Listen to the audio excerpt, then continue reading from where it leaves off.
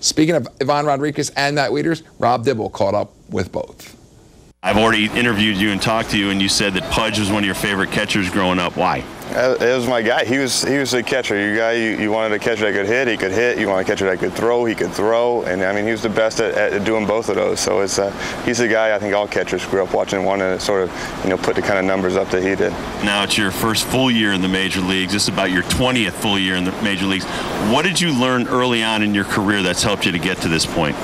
Well, basically, uh, what I learned just from my from my teammates. I grew up uh, in the era in the 90s. There's a lot of veteran guys. You know, I've, I grew up you know, Nolan Ryan, Julio Franco, you know, uh, Palmeiro, all those guys that have been in baseball for a long time.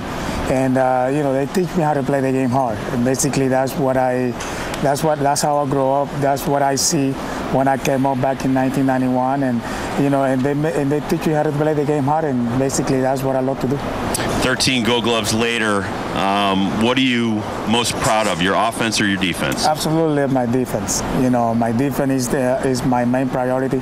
You know, you win games with the defense. You know, uh, with good defense, you can win games with, with good pitching, one to nothing, and you can end up making a great play, and that's the play of the game. But, uh, uh, but definitely my defense.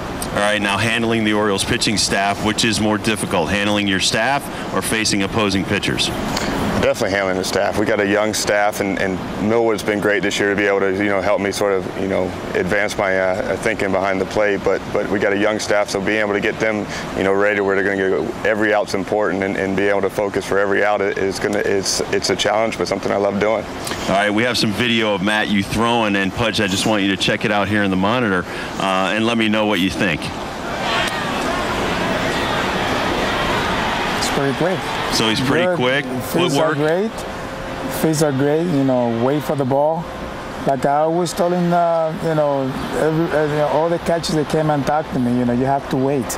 You know, you have to wait until the ball get to your glove. You cannot get the ball because if you go and get the ball, you're gonna be end up throwing the ball, you know, like a simple type of ball, you know, going towards the runner or may or end up throwing the ball to center field. But you know, Matt, you know, I've been watching Matt, you know, uh, when I was uh, uh, in the American League, you know, he came up and I, we play in the league when I was with Houston, and, and he's a great player. I mean, he plays the game hard.